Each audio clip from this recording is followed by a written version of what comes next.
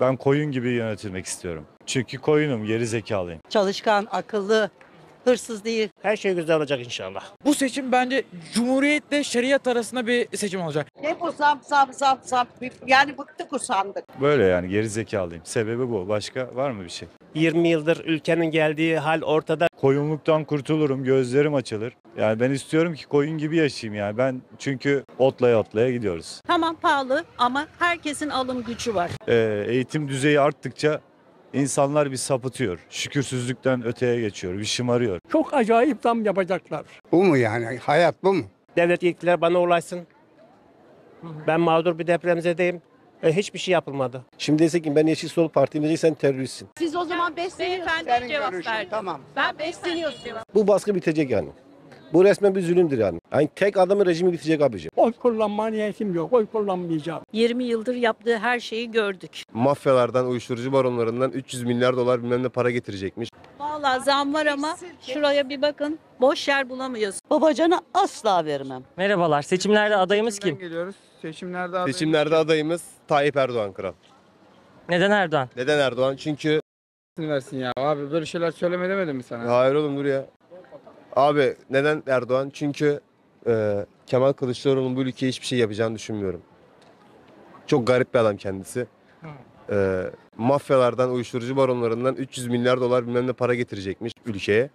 E, bu insanlar geri zekalı mı? Bu ülkenin başındakiler geri zekalı mı? Bunu alamıyorlar. Sen kimsin ki bunu nereden alıp buraya getireceksin? Anladın mı? Biz haram para istemiyoruz kardeşim. Gitsin nereden götürürse gitsin. Ama bize uyuşturucunun, torbacının şeyinin parasını getirmesin dayıcım. Kendisi a- açık bir şekilde söyledi mi uyuşturucu Evet, Murat baronlarından Bardakçı geçti? da şeyde CNN Bu Türk'te en, konuşuyor. Bunun CNN ağzı var, Türk'te- konuşuyor. CNN Türk'te Ağzı yaptı olan bunları. konuşuyor arkadaşlar. Bunlara inanmayın. Böyle şeylere inanmayın. söyledi. Bu yalan. Bizim oyumuz AK Parti'ye kralım.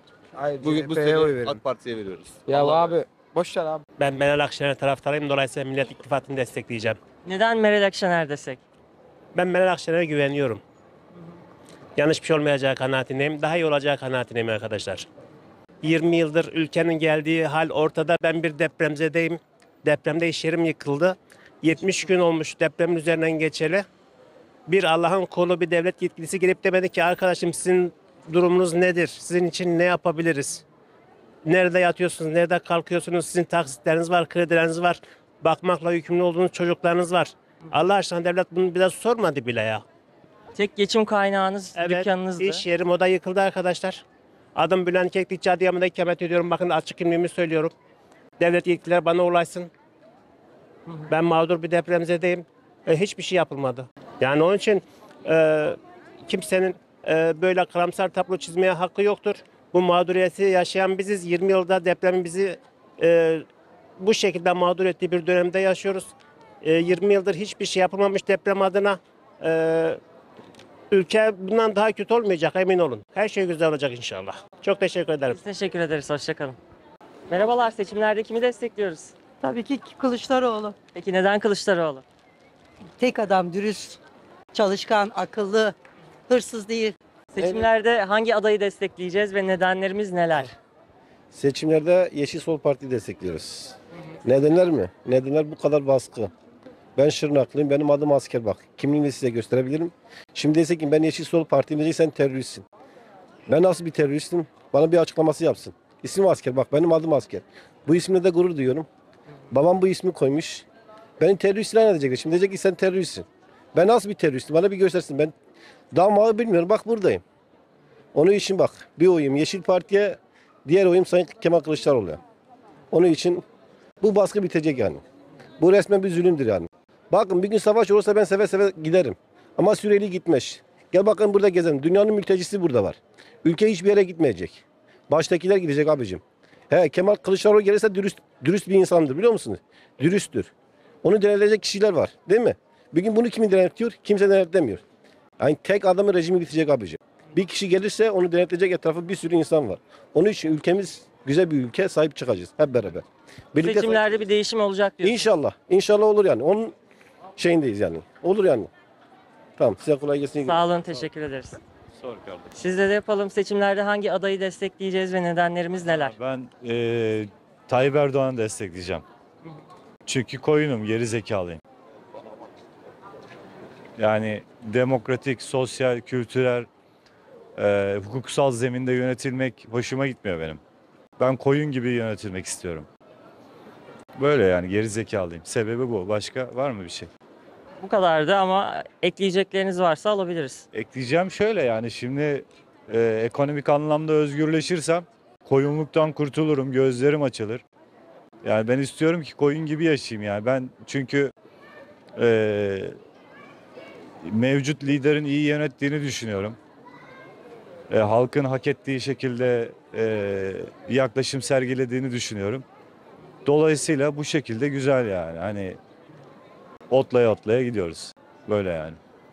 Yani şimdi ekonomik anlamda beni özgür hissettiren bir iktidar gelse, e, kiraların 8500 olduğu bir ortamda bana 100 bin lira maaş verse şımarırım yani o parayla ne yapacağımı bilmem. E, dolayısıyla bak böyle daha iyi yani en azından bir amacım var yani kiramı ödeyebilmek için çalışıyorum. Başka hiçbir şey kafamı kaldıramıyorum. Herhangi bir sosyal aktivite yapamıyorum. Kendime eğitim anlamında hiçbir şey katamıyorum. Sosyal ve kültürel anlamda da hiçbir kazanımlarım olmuyor. E olsa belki şımaracağım yani eksenimi şaşıracağım. Yani dolayısıyla e, ben ve benim gibi insanların ben ferasetine güvendiğim için Sayın Cumhurbaşkanımızın e, tekrardan seçileceğine inanıyorum yani. Zaten bu eğitimle de biraz ilgili. E, eğitim düzeyi arttıkça insanlar bir sapıtıyor. Şükürsüzlükten öteye geçiyor, bir şımarıyor. Ama mesela ilkokul mezunu, ortaokul mezunu veya hiç okumayanlar zihinleri daha berrak. Okumadığı için yorgun olmamış, daha zihinleri henüz yorulmamış kişiler olduğu için eee, biz yine aynı şekilde eee, Yola devam. yola devam. Evet, yola devam. Durmak yok. Konu ne? Konu Seçimler konu. Hangi adayı destekleyeceğiz ve nedenlerimiz neler? ben hiçbirini desteklemeyeceğim. Hiçbir aday güven vermiyor diyorsun. Yok. Oy kullanma niyetim yok. Oy kullanmayacağım. İkisi de çok acayip zam yapacaklar. Kim gelirse gelsin değişmeyecek diyorsun. Onun için değişmeyeceğine göre Kılıçdaroğlu'nu Peki destekliyoruz. neden Kılıçdaroğlu? Ee, biraz değişim olsun yeter. Bundan sonra biraz da değişim olsun. Ben Millet İttifakı'nı destekleyeceğim. Onu destekliyorum. Destekleyeceğim, destekliyorum da.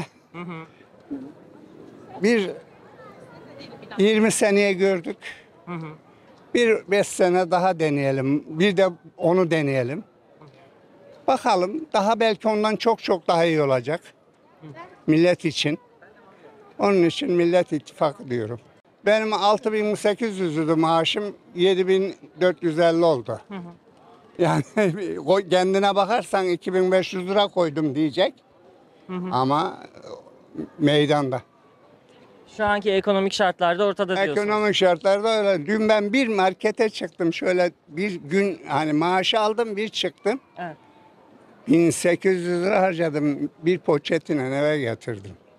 Bu mu yani? Hayat bu mu? Et almayacaksın, ekmek almayacaksın. Niye yaşayacaksın? Bir soğan yesek, o da soğan da oldu 30 kağıt. Bu mu? Bu mu ekonomi? Bunun için Türkiye'nin değişmesi gerek. Seçimlerde değişiklik şart diyorsun. Şarttır. 2 2 4. 4 4 8'dir. Teşekkür ederiz. ben de teşekkür ederim. Recep Tayyip Erdoğan. Peki neden Erdoğan? Çünkü e, ondan ondan iyi bir şey bulamayız lider. Sorun. Seçimlerde hangi adayı destekleyeceğiz ve nedenleri neler? Tabii ki reisi destekleyeceğiz. 20 yıldır yaptığı her şeyi gördük. Onun için yine onu destekleyeceğiz. Allah'ın izniyle kazanacak inşallah. Etsiz kaldık vallahi billahi. Ne bu zam zam zam zam. Yani bıktık usandık. Vallahi zam var ama şuraya bir bakın. Boş yer bulamıyoruz. İçeride şurada Starbucks var. Bir kahve 100 lira. E soğan 25 lira diye bağırıyorlar ya. Kahveye 100 liraya niye Ekonomik şartlar veriyorsun? kötü değil diyorsunuz. Değil, hayır değil. Tamam pahalı ama herkesin alım gücü var.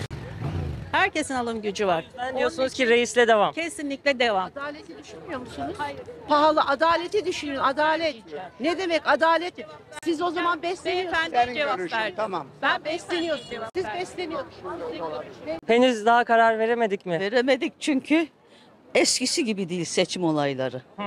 Bir kişi adaylığını koyardı tek başına. Birkaç kişi birini seçerdin. Ama Şimdi şimdi, aslında bir ittifak var. Yine bir aday seçilecek. şimdi henüz karar vermedim. Konuşmalar olsun bakalım televizyonda. Seçimimi yapacağım o zaman. Şu diyeceğim. Bir ay var. Bir ay var da neydi o babacan mıydı? Babacana asla vermem. Bir kelime konuştu hatırlamıyorum konuştu onu da. Ondan sonra onu sildim hayatım yani seçimden. Öncesinde babacana mı vermeyi düşünüyordun? Vermeyi düşünüyordum genç, dinamik, okumuş, kültürlü. Öyle birini istiyorum ben. Genç, dinamik, kültürlü, okumuş. Hani her şeyin üstünden gelebilecek bir e, lider istiyorum. Bakalım tercihimi yapacağım. Bakalım hayırlısı olsun diyelim. Tabii olsun. Ama e, e, şeydi Tayyip Erdoğan'dan da çok memnunum aslında. Yani güzel bugüne kadar getirdi buraya Yola kadar. devam diyorsunuz o zaman. Allah bilir. Şimdilik. Şimdilik öyle de halk bilir artık onu. İyi yayınlar. Sağ olun, hoşça kalın. Siz hangi adayı destekleyeceksiniz? Kemal Kılıçdaroğlu'na oy vereceğim. Ee, parti olarak da CHP'ye oy vermeyi düşünüyorum. Ee, Neden bu Kılıçdaroğlu? düzenin değişmesini istiyorum. Bu saçma sapan ekonomi bilimine uymayan e, ekonomi yönetimini de istemiyorum. Ve artık ülkenin de gerçekten bu seçimde referandum olduğunu düşünüyorum. Bu seçim bence cumhuriyetle şeriat arasında bir seçim olacak. Yani dinle yönetileceğiz ya da cumhuriyetle yöneteceğiz. Böyle düşünüyorum. Peki şu an mevcut sistemden en şikayetçi olduğu noktalar neler? Ee, adalet, eğitimin olmaması, e, ekonomi bunlar gibi sebeplerden dolayı.